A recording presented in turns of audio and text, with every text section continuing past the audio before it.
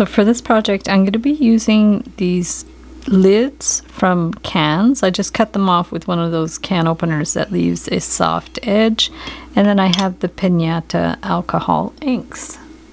So I had to sand off the numbers, but it worked quite well. Just get a bit of sandpaper and just get the numbers off there. And what I'm going to do is you need to paint both sides, but paint one, let it dry, and then flip it and paint the other side. But I'll show you uh, doing both sides at once just to compare them. So we'll just take our inks. I'm not going to use a brush or anything, and I'm just going to drop the inks on the metal, and we're going to see what happens. So we just want to do a little bit of each color. I'll start with that dark color. I probably should have started with a lighter one. You really don't need a lot because it um, spreads quite quickly. So we'll just put a few on there. Actually, we could do these colors at the same time. And we'll put a little bit of pink on there.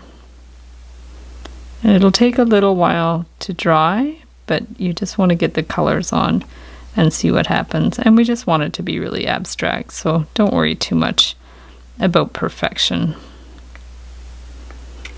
Get that one, and then we'll get a little bit of the dark color. And you see how when they overlap, they create different colors as well. So this one's quite a dark purple.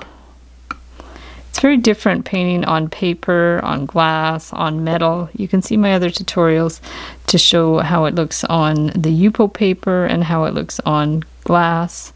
You'll see there's quite a bit of difference. So now I'm going to use some metallics. Sometimes they get a little plugged up, so just wipe the end if it gets, if the hole gets plugged. And we're just going to do like little bits of the metallic on there too.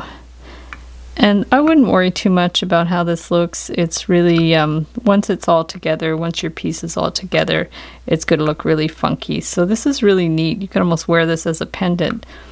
So we've got that. And then let's try the more like a copper color. Wipe off the end. And we're going to get some of that one out there. So yeah, the metallics are gorgeous. They're so interesting. If you have a little bit of the metal showing, this is a good opportunity to use a bit of the metallic here. Put it on. So now we're going to do three more. And you can just really work quickly with it. You know, just go ahead, work on a few at once. And don't overthink it. Just have fun with it. Play around. Just try to make sure you fill up as much of the metal as you can. It's just nice to get it all filled in we're just going to go like that. And then you have some darker colors too. This is the teal. Teal's a really nice color. There we go. And they don't all have to have the same amount of the same colors either. So you just really want to play around with them with nothing particular in mind. And then usually it ends up really beautiful. And if it doesn't, you can always like pull it back and try something else. So we're just going to get the colors down first a little bit of red. It's a good thing we took the numbers off before we started because they might have shown through. So now we've got some of this copper one. We're just going to have to unplug the hole a little bit. There we go. Let's get some of the copper. The copper, the metallic is so beautiful. It just looks really, really pretty. And then some of the more gold color. Yeah, it's just like little explosions of color and texture, which is really cool. But just keep wiping the end of the metallic ones if if they're not uh, if they're plugged. That just that can happen sometime. I'm not sure why. I guess there's little granules in it, so it's getting plugged up a little bit.